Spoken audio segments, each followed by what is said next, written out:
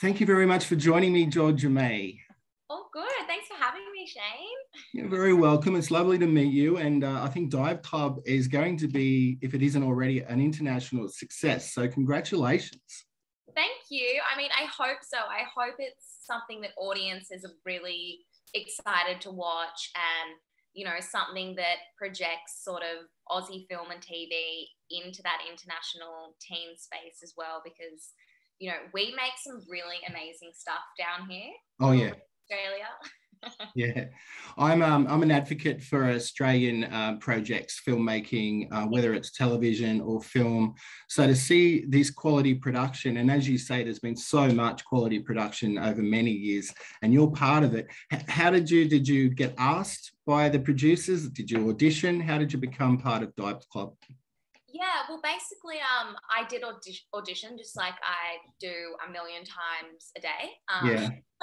but yeah, this one, you know, it really stood out for me. Initially, it was considered a untitled streamer project. So, you know, whenever you see that, you get excited because the streamers and the streaming platforms that are available now are global, right? So. Oh, yeah as soon as that audition came across, I was excited, read the script. It instantly pulled me in. Um, I was really excited that it was going to be filmed in, you know, far north Queensland, that it was going to be produced by an Aussie production company that was backed by, you know, an international um, streamer. Yeah. So, yeah, it was quite a rigorous round of auditions. There was about five or so, quite a few tests, um, and it took many, many months of will it, won't it, will it, won't it? And, you know, eventually towards the end of the last year, it was sort of just like a week's notice. Okay, you're going. Is that um, all? Yeah, like it was, it was very, very quick. There was a lot of pushbacks. Um, we're not going to talk about COVID because it's so boring, but um, Thank yeah, you. obviously, obviously COVID, you know, pushed everything back and we're all, most of us are Sydney based. So, you hmm. know, we were essentially literally immersed in Cape Mercy for four months straight with no friends or family. Um, yeah, but obviously, why the show, I think it looks so great on screen because we built such strong relationships quite quickly because we had to. yeah, you can tell the connection between um, some of the, the actors that you are in scenes with, but as an ensemble, you yeah. must have had some fun on set because it translates on screen. Yeah, definitely. I mean, you know, we're all roughly the same age. We're all at similar points in our career as well. Yeah. With, you know, having worked as well with people who have had lots of jobs or, you know, are really um, international celebrities, that kind of thing. It's nice to work with people on the same playing field because there's a real sense of sort of cohesion and right. to make a show, you know, really successful. Um, so I really enjoyed that for sure. Do you think there could be a movie spin-off? Because some uh, sometimes there's spin-offs, you know, from popular television shows. Do you think you could take it further? I mean, look, I definitely think there's um, the opportunity for it to be made into sort of a movie as well. I definitely think it has, um, similarly to sort of H2O, Mako Mermaids, I definitely think there's yeah a plot there that could be extended into a show, TV series, more of a brand. Yes. Um, because I can't tell you the audience reaction, which obviously the audience age is between, I'd say, 10 to 16. Oh, I think so, yeah. But it does translate, I think, to a yeah. few other demographics. I mean, yeah, and that's the feedback we've been getting, right? Like a lot of parents who watched it with their children are also quite pleasantly surprised at how engaging it was as yeah. a teen show. You know, like there was the sense of pace, and there was, you know, you wanted to know every at the end of every episode. It was cliffhangers, like, oh my god, what's happened to this girl? Like, yeah. what actually is occurring? Which I think was quite a nice thing because I think you know, teen and children's shows tend to get brushed off into this kind of. I think so yeah, like this sort of lamer, not as exciting category. Um, so that was amazing feedback because you know pleasing parents is half the battle. yeah, well, if you can make a good family-friendly show such as this, you're halfway there. Uh, I, Yeah, I think so. And um, I mean, I'm older than that demographic it's it's set up for, but I was I enjoyed the episodes I've seen so far, and I haven't watched the whole episode, but I'm looking forward to where it moves on to next. Yeah, yeah, definitely. And I think the thing that's really left with audiences is it it just ends on such a cliffhanger mm. that you know i'm even eager to see what happens next where does the story go? Mm. because it's such a dramatic ending that you know a lot of feedback we've been getting is okay well this is just annoying. What what happened? Like we want to see more of what's going to happen. Yeah. Yeah um, same I think spoiler free, uh, I can see it, it, it, really going into some interesting territory. So yeah, looking forward to it. Spoiler free, so can I. yeah. At surfing, can you surf and have you always been a surfer or, or is it part of your DNA? I mean, I, I grew up essentially on the beach. Yeah. Um, but in terms of my surfing ability, I'm probably bit better than a beginner. Um, I get out pretty frequently. I, I really just enjoy being in the water. Yeah. Um, I'm no Layne Beachley for sure, but um, you know, it's just for me being in the water and just getting amongst it is why I love to surf. I'm not going to be the next Blue Crush superstar, but well, you never know. There's been two Blue Crush movies. There, there could be a third. You'd be uh, on the short list. Yeah. Uh, if you weren't an actor or a performer, what occupation do you think you'd be doing? I mean, so when I'm not acting and performing, I'm I also I'm a producer as well. So okay. I have a background in journalism. Um, I'm obsessed with sort of just getting to the crux of stories and you know piecing together all of these elements to find out information. Yeah. Um, at the moment, I I'm a producer as well. I work on a variety of shows. Um, at the moment, I'm doing Sunrise and a couple of other shows. So I think if I wasn't acting, I would also be doing this, but mm. it's just so happens that they both kind of fall into the same category. so I didn't know that about you, that you're yeah. producing as well, because producing is a whole different entity than acting, even though it's uh, the same business as such. It is so different. I mm. mean, I feel, I guess I feel kind of lucky that um, I get to see both sides of it. Um, and that's why I love being involved with projects because I can see how much of a collaborative experience yeah. filmmaking actually is. Like anyone that thinks it's this solo thing or no. it isn't going to work out. Um, but yeah, I like like we were speaking about prior to this interview. It's definitely something that's been in my blood um, yes. from a very very young age. So yeah, I've definitely seen all sides to the industry. well, seeing you've you've started that, I want to touch on uh, your mum, especially.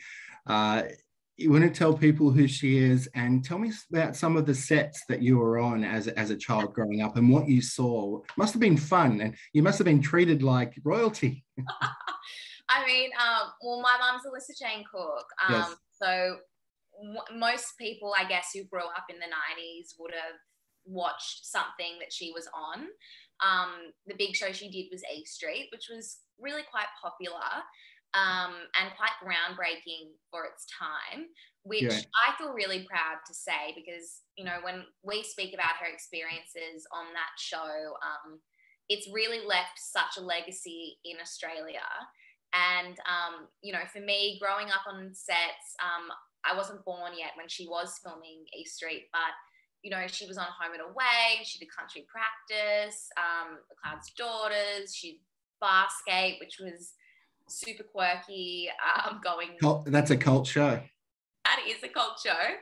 Um, but yeah, I mean, being around that environment and just seeing sort of how many people are involved and just how dedicated my mum was whilst yeah. being a mother. Yeah. Um, it was super inspiring.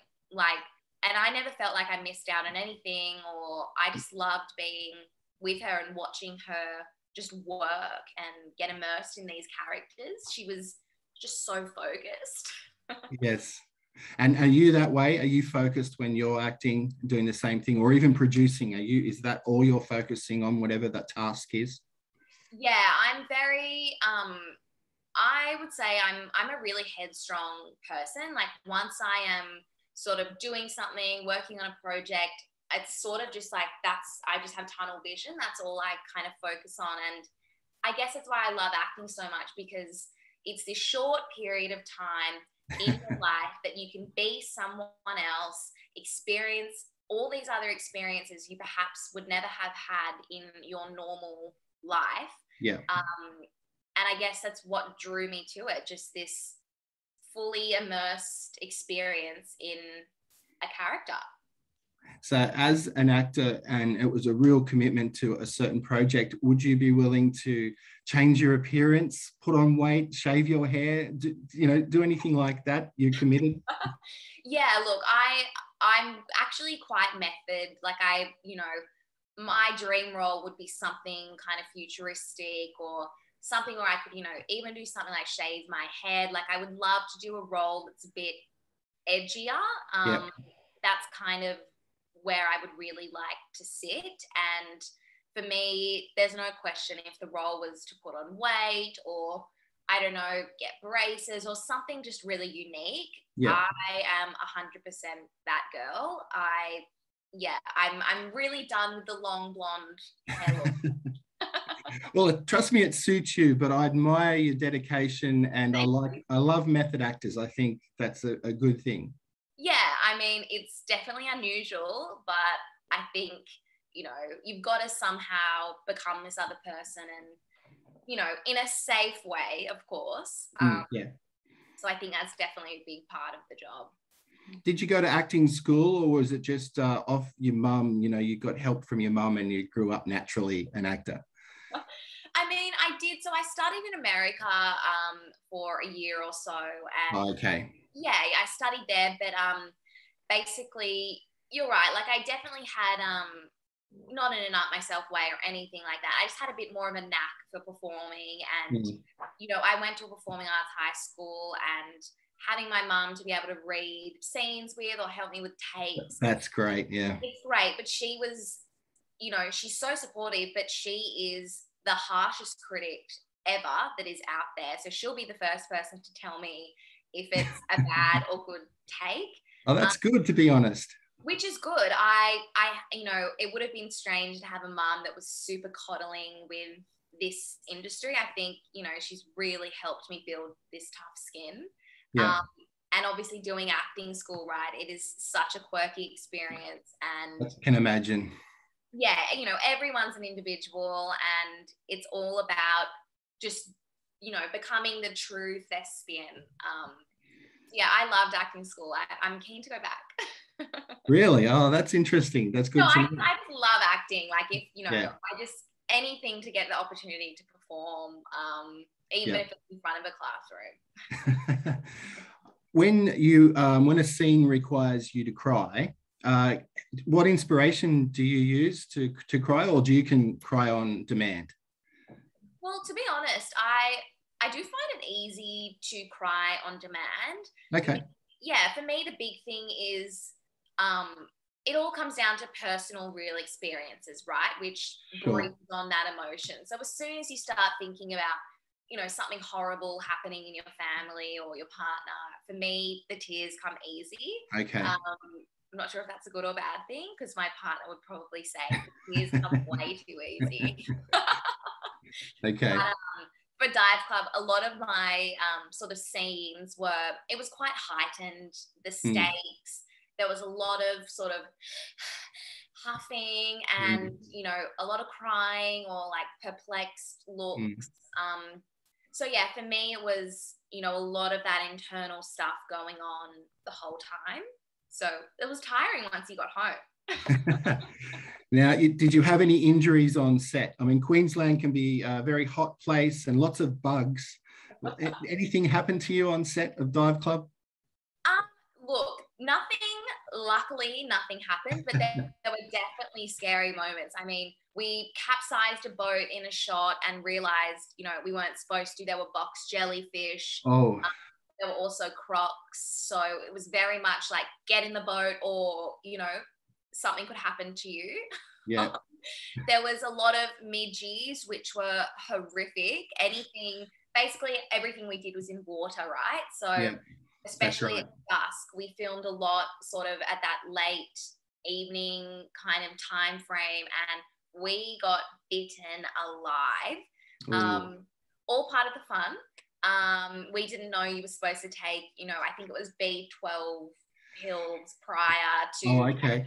Yeah, just something to, you know, get your body used to it. But no, no, we all went in just so excited. Um, but you know, it was it made it it was part of the experience when I look back on it, right? Like we remember the midgies and the potential crocs and the filming in Blackwater at night. Mm. Um, yeah, nothing, I no injuries. It was a very, very safe environment. Glad to hear that. Well, for anyone who doesn't know what midgies are, they're very small, and I've had them. They can get inside your wetsuit.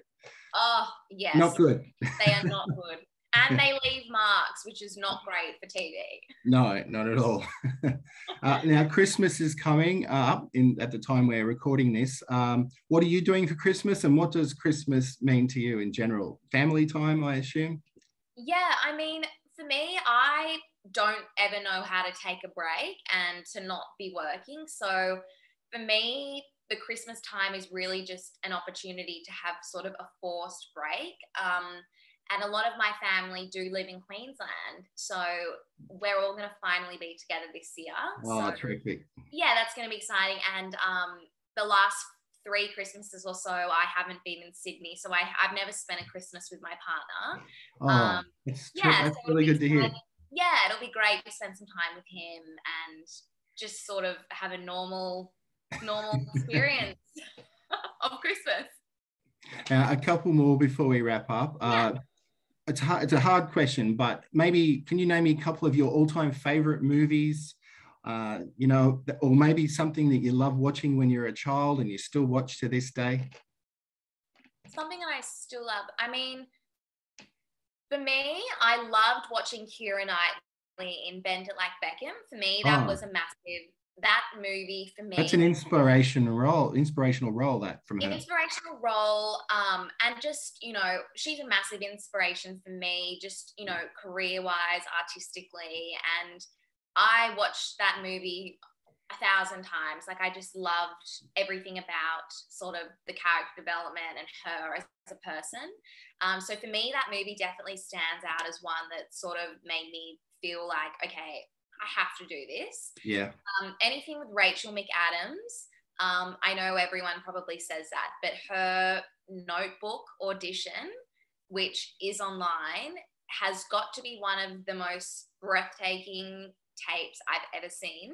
Mm. Um, and I watch that constantly for inspiration. I mean, just the ability to just switch it on and Yep. you know take it to a whole nother level. And I saw recently that um Britney Spears actually also auditioned for that mm. character. And isn't it amazing? I was aware of that. Yeah, but isn't it amazing to think how, you know, such, you know, how different certain casting could have been Oh yeah. could have been. So yeah, those two actresses, anything that they have done is they're definitely my inspiration sort of films for sure. Well, Britney did Crossroads, and I like that. Yes. yeah, yeah, she did. She's a good actor. I just her in the notebook, it was it was Rachel's role. Oh yeah, and I mean I've seen that online too. That Yeah. uh, that tape that she did. Now, do you ever do, have you ever thought of all those um, audition tapes that you do? Could you do that monologue and maybe send it to someone, and they get, they, they might see Rachel McAdams in you then?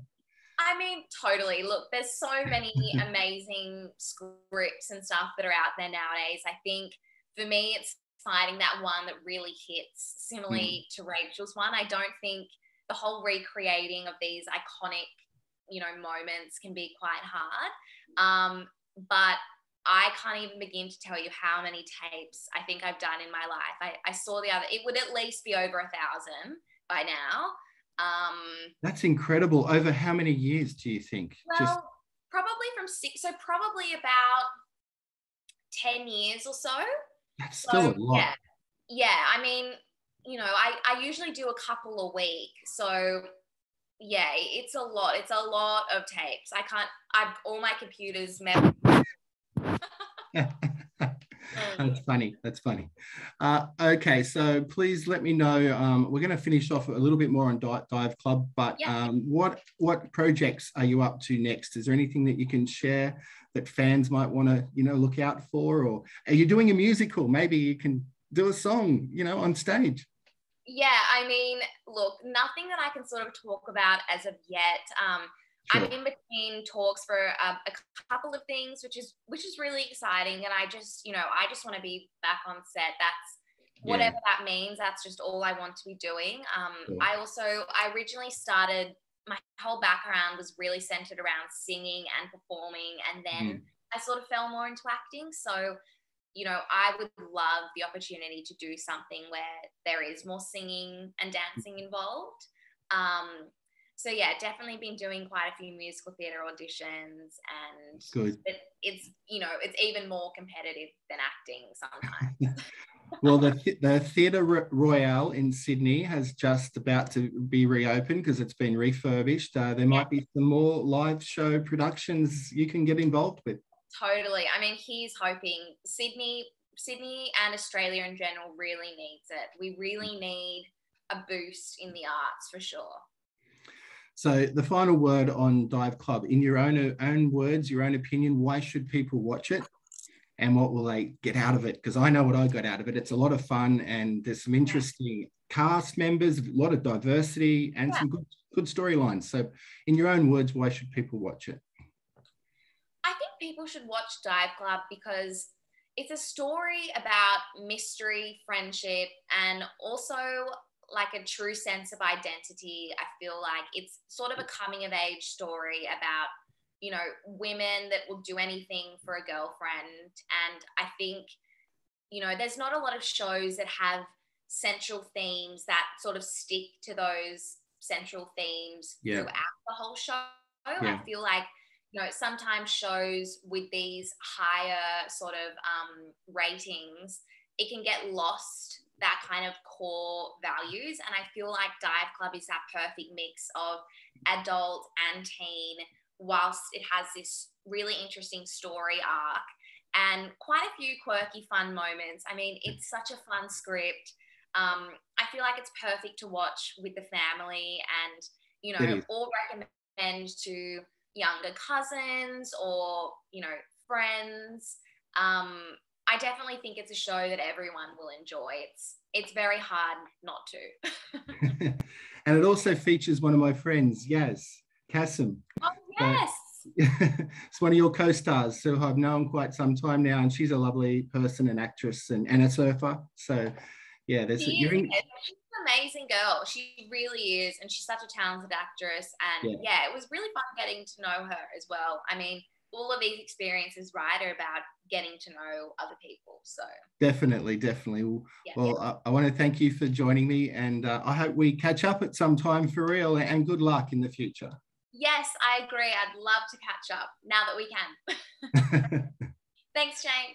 Bye. See you.